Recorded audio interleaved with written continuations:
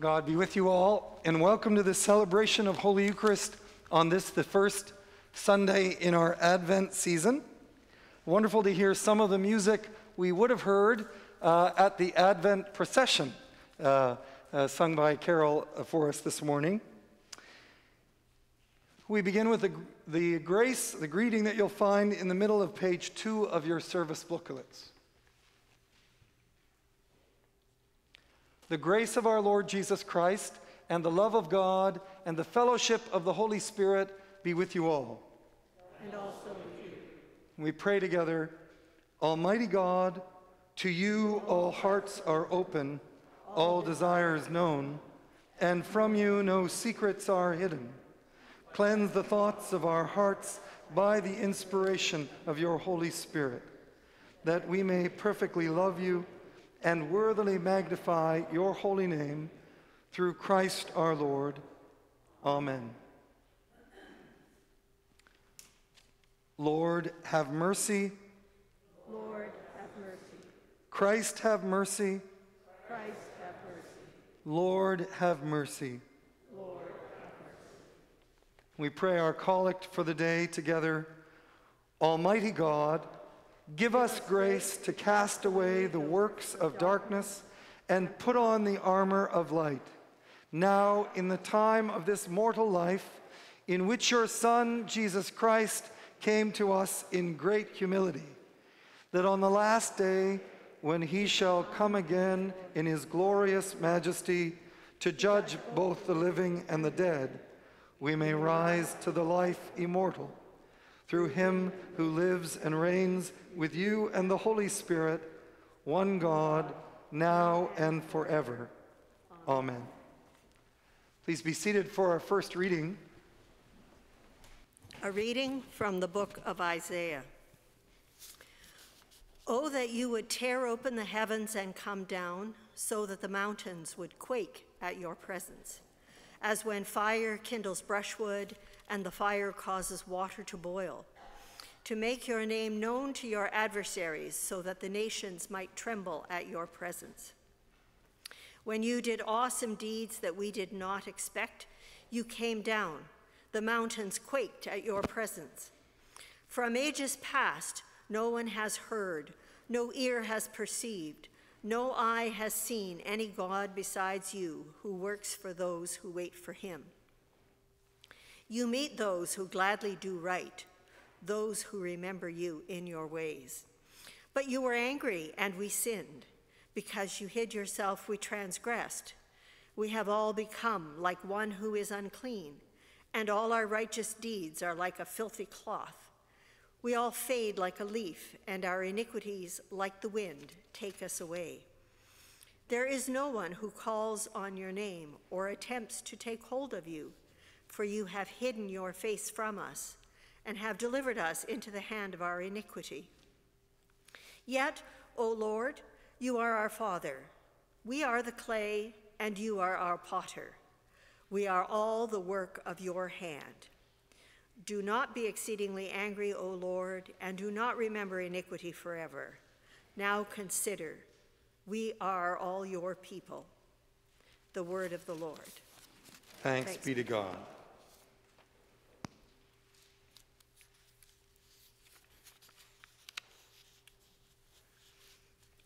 Hear, O shepherd of Israel, leading Joseph like a flock, shine forth, you that are enthroned upon the cherubim. In the presence of Ephraim, Benjamin, and Manasseh, stir up your strength and come to help us. Restore us, O God of hosts.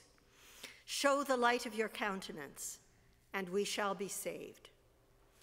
O Lord God of hosts, how long will you be angered despite the prayers of your people? You have fed them with the bread of tears. You have given them bowls of tears to drink. You have made us the derision of our neighbors, and our enemies laugh us to scorn. Restore us, O God of hosts. Show the light of your countenance, and we shall be saved. Let your hand be upon the man of your right hand, the Son of Man you have made so strong for yourself. And so will we never turn away from you. Give us life that we may call upon your name. Restore us, O Lord God of hosts. Show the light of your countenance, and we shall be saved. A reading from the first letter of Paul to the Corinthians. Grace to you and peace from God our Father and the Lord Jesus Christ. I give thanks to my God always for you because of the grace of God that has been given you in Christ Jesus. For in every way you have been enriched in him, in speech and knowledge of every kind, just as the testimony of Christ has been strengthened among you, so that you are not lacking in any spiritual gift as you wait for the revealing of our Lord Jesus Christ. He will also strengthen you to the end so that you may be blameless on the day of our Lord Jesus Christ. God is faithful. By him you were called into the fellowship of his Son, Jesus Christ our Lord. The word of the Lord. The Holy Gospel of our Lord Jesus Christ according to St. Mark. Glory to you, Lord Jesus Christ. Jesus said, in those days after that suffering, the sun will be darkened, and the moon will not give its light, and the stars will be falling from heaven, and the powers in the heavens will be shaken. They will see the Son of Man coming in clouds with great power and glory. Then he will send out the angels and gather his elect from the four winds, from the ends of the earth to the ends of heaven. From the fig tree, learn its lesson. As soon as its branch becomes tender and puts forth its leaves, you know that summer is near. So also, when you see these things taking place, you know that he is near, at the very gates. Truly, I tell you, this generation will not pass away until all these things have taken place. Heaven and earth will pass away, but my words will not pass away. But about that hour or day no one knows, neither the angels in heaven nor the Son, but only the Father. Beware, keep alert, for you do not know when the time will come.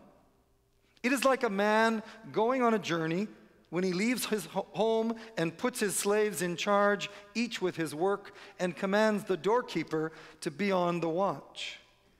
Therefore, keep awake for you do not know when the master of the house will come in the evening, or at midnight, or at cockcrow, or at dawn, or else he may find you asleep when he comes suddenly.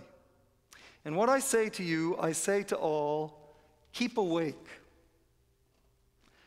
The Gospel of Christ. Praise to you, Lord Jesus Christ. Loving God, grant each of us a word from your word in your name, Father, Son, and Holy Spirit. Amen. Amen. Please be seated.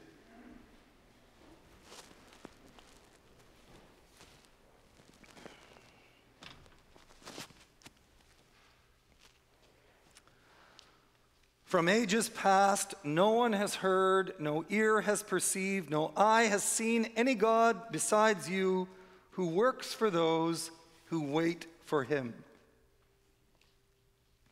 I want you to imagine that you've been away from home for a very long time. You've not seen the familiar things of home. You've not sat down with your dog or your cat dozing nearby. And most importantly, you've not seen those you love the most, your family, for a very long time. Of course, it's happened uh, for centuries. It's happened to military personnel since there were wars and rumors of wars.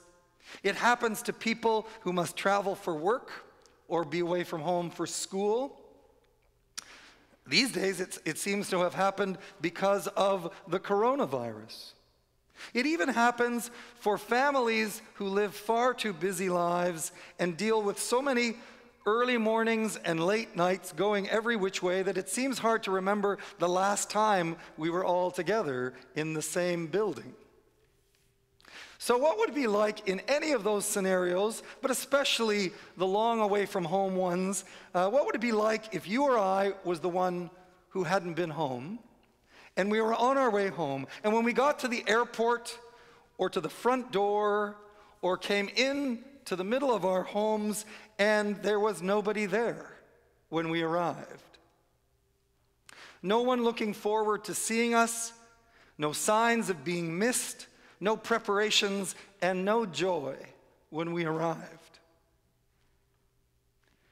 Now consider the opposite of that. What would it mean to us if the ones you loved were there, waiting, expectant, clearly excited to see us again? Actually, for a couple of weeks now, we have been hearing words but beginning today and for the next four weeks, we are going to especially be hearing urgent messages about being ready for the return or the second advent of our Lord. And they're just going to ramp up Sunday by Sunday. Did you hear some in the readings for today? The mountains will quake. Awesome deeds we did not expect. The sun will be darkened, the moon will not give its light, the stars will be falling from heavens, and the power of the heavens will be shaken. And that's just a little from today. They are apocalyptic words, scary words.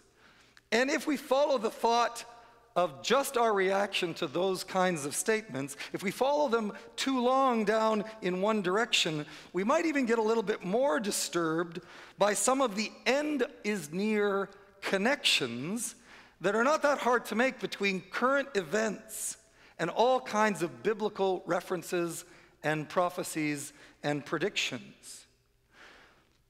Just before our gospel reading for today, um, Jesus himself gives many of those references um, about unsettling times. And hey, we live in unsettling times. Jesus has been answering his friends' questions about when will all these things take place.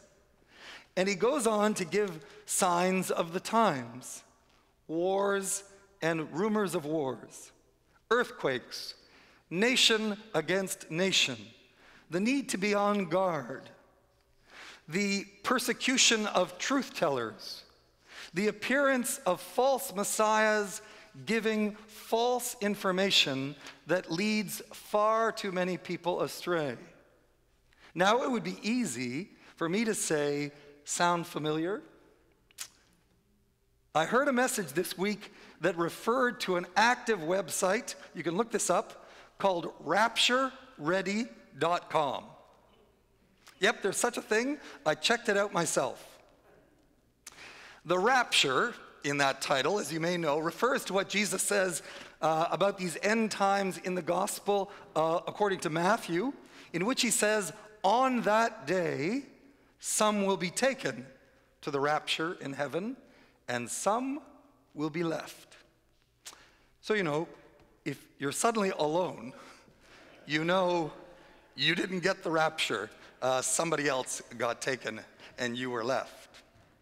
So, this website was created uh, by somebody to categorize and quantify the um, uh, trends of the world um, and, and the events of the world into what they call a rapture ready index. And the accounting seems rather thorough. In each category, you can have a maximum of five. Pandemic, under the category of plagues, maxed out. Uh, global turmoil, check. Financial unrest, wild weather, civil unrest, and civil rights issues, check, check, check. And here's what they say about their website. You could say that the Rapture Index is a Dow Jones industrial average of end time activity. This is them saying this themselves. But I think it would be better if you viewed it as a prophetic speedometer, so they say. The higher the number, the faster we're moving towards the occurrence of pre tribulation rapture. Here's their scale 100 and below, slow prophetic activity. 100 to 130, moderate prophetic activity. Um, 130 to 160, heavy prophetic activity. And above 160, fasten your seatbelts. We are now supposed to be at 183. So are you getting uneasy? Or are you starting to wonder about some people who have way too much access to the internet? If the purpose of the Word of God and all these genuine biblical words of warning were to prompt that kind of calculated fearfulness, well, it seems a little more than strange to me that the phrase that's used in the Bible more than any other is do you know what it is? Be not afraid. How do you put those two things together? Why all the Advent warnings that get people predicting, as they have in every generation, when they see some of these signs the doom and the gloom and the fire and the brimstone? Well, today, just as one way at this uh, subject, Jesus says simply and quietly think of it this way a man going on a journey. Therefore, keep awake, for you do not know when the master of the house will come back in the evening, or at midnight, or at cockcrow, or at dawn, or else he may find you asleep when he comes. So there's a reason our Lord wants us to keep our eyes open, to be vigilant, to be ready, and not to be afraid to be about our Master's business, to be ready to welcome and receive him with joy, in fact. He is the one who yearns to be welcomed home, just like that example I had you think about at the beginning. Welcomed home by us in whatever form his arrival may take.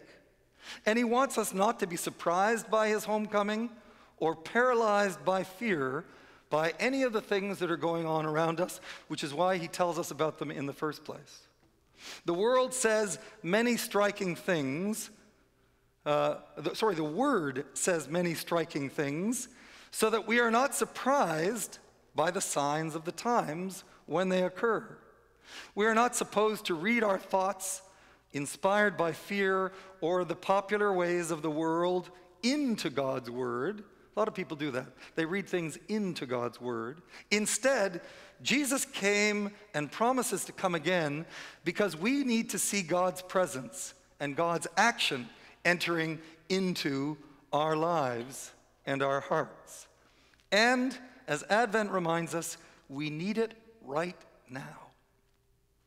So, Advent, with any of the devotions that we use to stir our hearts uh, or actions, uh, traditions and devotions and other things that will help us to keep our eyes open, Advent is a wake up call, a readying cry, an expecting kind of looking out the front window uh, so that, uh, uh, because God knows we need His Advent, His coming.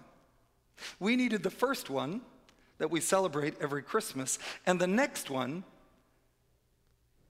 uh, we need when all is yet to be realized of his promises. And God wants us to be open and unafraid and even excited, not one day, but today. Because, paraphrasing Pastor Courtney Allen Crump, today we need connection in the midst of isolation. We need signs of light in days overshadowed with darkness. We need shoots of hope springing up in the midst of all that wearies us and makes us afraid. We need to see acts of peace in all the chaos, gestures of love in all that divides, and we need glimpses of joy in the many sorrows we have known this year. So, Advent is for people who know and can honestly admit that we need help and we choose hope. It is for people who know how to tell the truth from fear mongering and distraction. It is for those who would be open to the truth about how we are doing and what we can do with all that is going on around us in the world. And it is about the difference that God wills to make in the world. So we are getting ourselves ready. We are helping one another to get ready for the coming one and to celebrate his arrival. We don't want to neglect either of his advents or to get distracted by the threats uh, and the fears and the busyness or business uh, of the world. We want to be those who are awake to God in the world, to be about God's works of love and light and hope for others in the here and now, and to be alert and aware of the signs of God that are at work around us even now. There's a poem called The Advent Credo, which was shared with me this week um, uh, by uh, a man named Allan Boesak, and it goes like this It is not true that creation and the human family are doomed to destruction and loss. This is true. For God so loved the world that he gave his only begotten Son, that whoever believes in him should not perish, but have eternal life. It is not true that we must accept inhumanity and discrimination, hunger and poverty, death and destruction. This is true.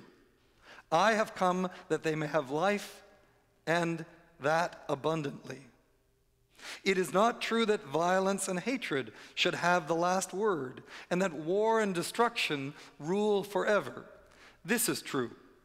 Unto us a child is born, unto us a son is given, and the government shall be upon his shoulder. His name shall be called Wonderful Counselor, Mighty God, the Everlasting, the Prince of Peace. It is not true that we are simply the victims of the power of evil who seek to rule the world. This is true. To me is given authority in heaven and on earth, and lo, I am with you even unto the end of the earth. It is not true that we have to wait for those who are specially gifted, who are the prophets of the church, before we can be peacemakers. This is true. I will pour out my spirit on all flesh and your sons and your daughters shall prophesy, your young men shall see visions, and your old men shall dream dreams. It is not true that our hopes for liberation of humankind, of justice, of human dignity, of peace, are not meant for this earth and for this history. This is true. The hour comes, and it is now, that the true worshipers shall worship God in spirit and in truth. And he concludes by saying, So let us enter Advent in hope, even hope against hope. Let us see visions of love and peace and justice. Let us affirm with humility, with joy, with faith, with courage, Jesus Christ, the life of the world.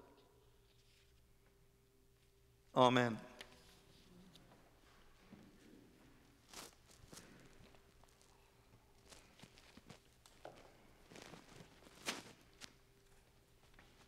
Would you please stand with me? And let us confess our faith as we say together, We believe in one God, the Father, the Almighty, maker of heaven and earth, of all that is seen and unseen. We believe in one Lord, Jesus Christ, the only Son of God, eternally begotten of the Father, God from God, light from light true God from true God, begotten, not made, of one being with the Father. Through him all things were made. For us and for our salvation, he came down from heaven. By the power of the Holy Spirit, he became incarnate from the Virgin Mary and was made man. For our sake, he was crucified under Pontius Pilate. He suffered death and was buried. On the third day, he rose again in accordance with the scriptures. He ascended into heaven and is seated at the right hand of the Father. He will come again in glory to judge the living and the dead, and his kingdom will have no end. We believe in the Holy Spirit, the Lord, the giver of life, who proceeds from the Father. With the Father and the Son, he is worshiped and glorified. He has spoken through the prophets. We believe in one holy, Catholic, and Apostolic Church. We acknowledge one baptism for the forgiveness of sins. We look for the resurrection of the dead and the life of the world to come. Amen. Let us pray with confidence to the Lord, saying, Lord, hear our, prayer. In our Anglican communion, we pray for the Lusitanian Church, Bishop Jorge Pina Cabral. We pray for Linda, our primate, Anne, our metropolitan, Shane, our bishop, Kenneth, our priest, and all priests of our diocese renewing their vows tomorrow, our wardens, our parish pandemic planning team. In our diocese, we pray for Anglican Social Services, Center 454, and for their acting executive director, Rachel Robinson. In our companion diocese, we pray for the Virgin Mary Episcopal Church, Irbid, Jordan. We pray for all the members of our parish family, for all able to worship with us in person, and for all who are worshiping with us remotely. Lord, guard and direct your church in the way of unity, service, and praise. Lord, hear, Hear our, our prayer. prayer. We pray for peace in the world. Grant that we may live together in justice and faith. Give to all nations an awareness of the unity of the human family. Lord, hear, Hear our, our prayer. prayer. Cleanse our hearts of prejudice and selfishness, and inspire us to hunger and thirst for what is right. Lord, hear, Hear our, our prayer. prayer. Teach us to use your creation for your greater praise, that all may share in the good things you provide. Lord, hear, Hear our, our prayer. prayer. We pray for all who are in need of God's help and our care. The Reverend Bill Simons, the Reverend John Asquith, Bishop Michael Hawkins and his family, Gwen Hooker and family, Jean, Terry, Cindy, Betty, Janet, Jim, Spencer, John and Hillary, Karen, Shirley, Peggy, Maureen, Mary, Jimmy, Christine, Robert, Noel, Cheryl, Edith, Ruth, Lois, Jen, Marilyn, Jeff, Helen, Junie, Faye, Heather, Shirley, Betty, Colette, Maggie, Margot, Ben, Adam, Bruce, Margaret, Don, Jan and Peter, and Crystal, and others who are in our hearts today. We pray for all who are sick in quarantine and self isolating, and for those who are afraid. Show them your kindness and mercy. Lord, Hear, Hear our our prayer. prayer.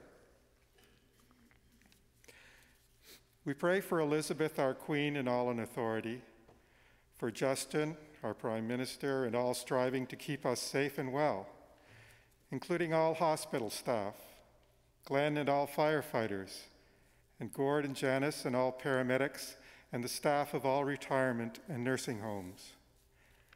Strengthen all who give their energy and skill to the care and healing of those who suffer from illness or despair. Lord, hear, Hear our, our prayer. prayer.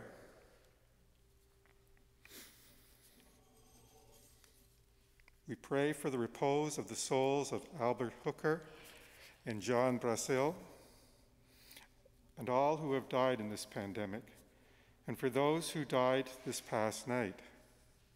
Grant a peaceful end and eternal rest to all who are dying, and your comfort to those who mourn. Lord, hear our Hear prayer. our prayer. We give thanks for all who've made our frozen berry campaign a success, for those who worked on the weekend to distribute the berries, for those who work to sell berries and for those who purchase them. And we give thanks for the presence and witness of our sister Sue Wallette and our brother Alan Kearney in our midst. We pray for God's blessing and traveling mercies on them as they move to new homes and parish families in Montreal and British Columbia this week. Lord, hear, Hear our, our prayer. prayer. We continue in prayer with the general confession you'll find at the top of page 8 in your service booklets. Dear friends in Christ, God is steadfast in love and infinite in mercy. He welcomes sinners and invites them to his table. Let us confess our sins, confident in God's forgiveness.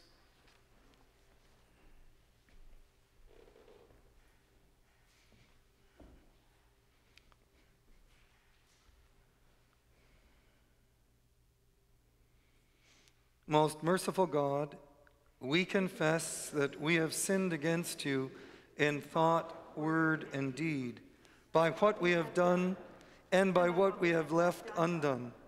We have not loved you with our whole heart. We have not loved our neighbors as ourselves. We are truly sorry and we humbly repent.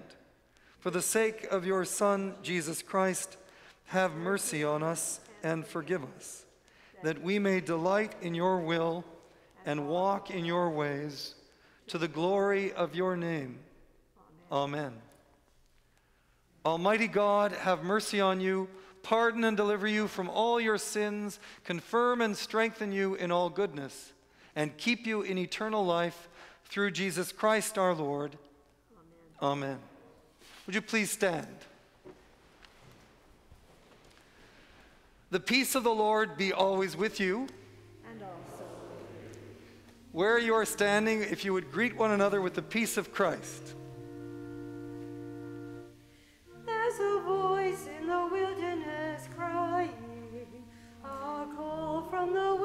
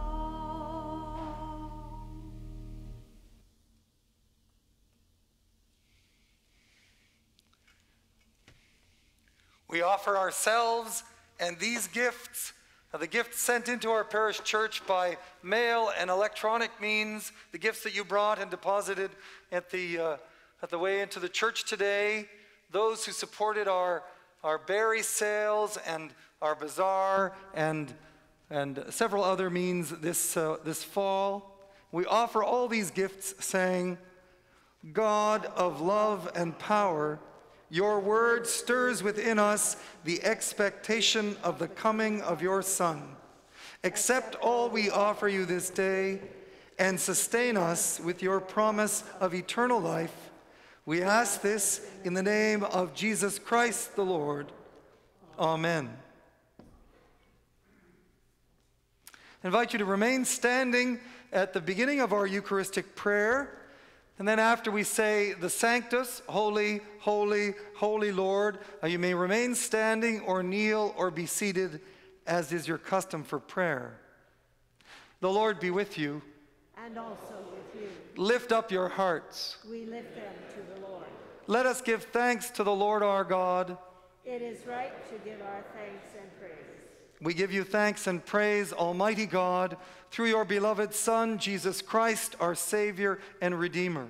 He is your living Word, through whom you have created all things. By the power of the Holy Spirit, he took flesh of the Virgin Mary and shared our human nature.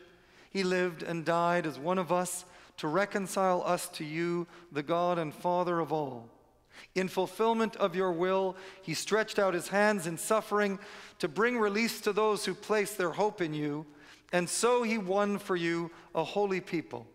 He chose to bear our griefs and sorrows and to give up his life on the cross that he might shatter the chains of evil and death and banish the darkness of sin and despair.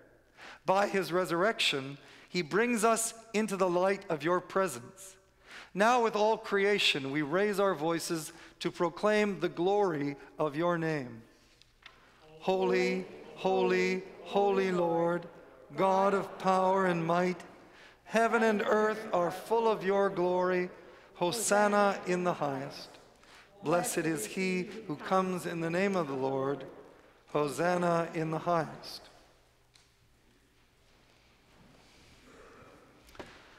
Holy and gracious God, accept our praise through your Son, our Savior Jesus Christ, who on the night he was handed over to suffering and death took bread and gave you thanks, saying, Take and eat.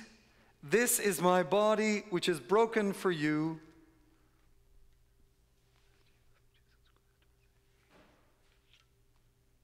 In the same way, he took the cup saying, This is my blood which is shed for you. When you do this, you do it in memory of me.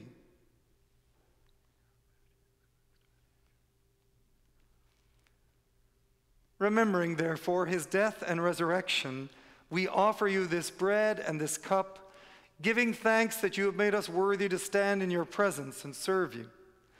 We ask you to send your Holy Spirit upon the offering of your holy church Gather into one all who share in these sacred mysteries, filling them with the Holy Spirit and confirming their faith in the truth, that together we may praise you and give you glory through your servant Jesus Christ.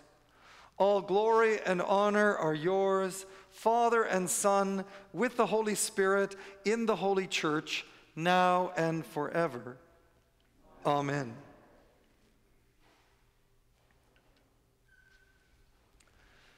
And now, as our Savior Christ has taught us, we are bold to say, Our Father, who art in heaven, hallowed be thy name.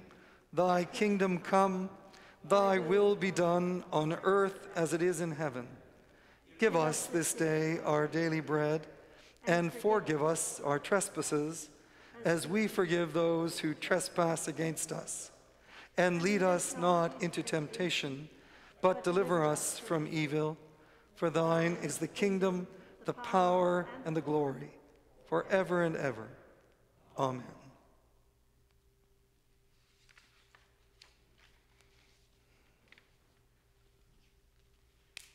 God of promise, you prepare a banquet for us in your kingdom. Happy are those who are called to the supper of the Lamb. The gifts of God for the people of God.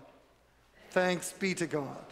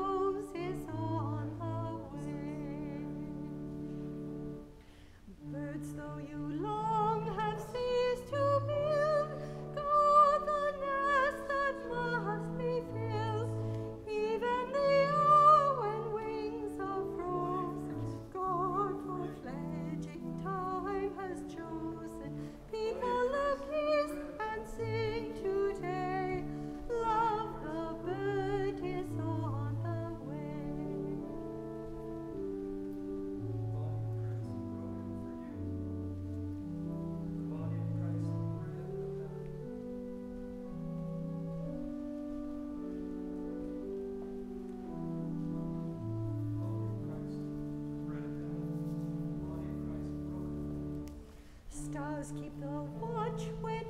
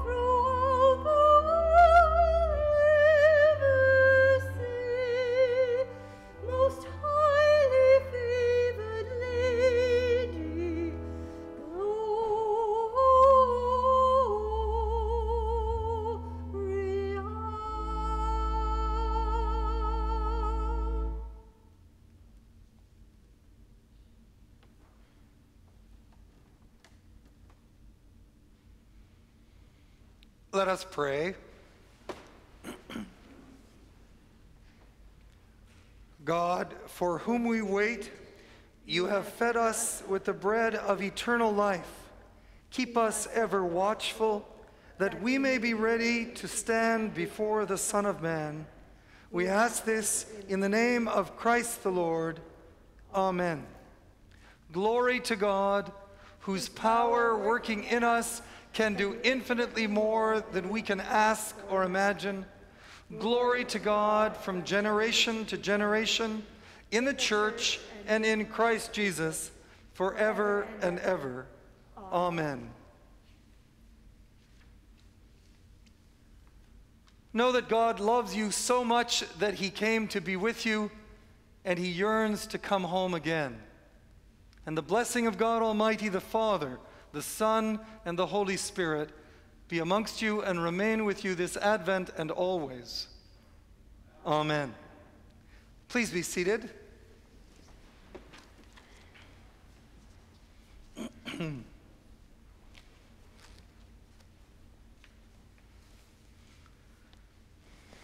well, it's great to be with you on this uh, beautiful morning. Uh, I, um, you, you know the expression, the old saw, I love hard work. I could watch it for hours. Um, uh, I did some of that yesterday out at my study window as people were uh, lining up and, and the volunteers were working from uh, before noon until 6 o'clock. Uh, a huge effort on the part of uh, a number of you, and, um, and we're very grateful for all those who supported the berries sales uh, with, with purchases, as well as the online bazaar, the, um, the tourtière making and, and selling, and also uh, Christmas cakes. Uh, so, all kinds of things being done uh, within our restrictions uh, to support our parish church and out of love for Christ and His church, and we're very grateful for that. Um, now, there's some special news about a, a change of detail for the bazaar people bringing in baking and the pickup days. And Al, can you say a word about that? Microphone, best thing, yep.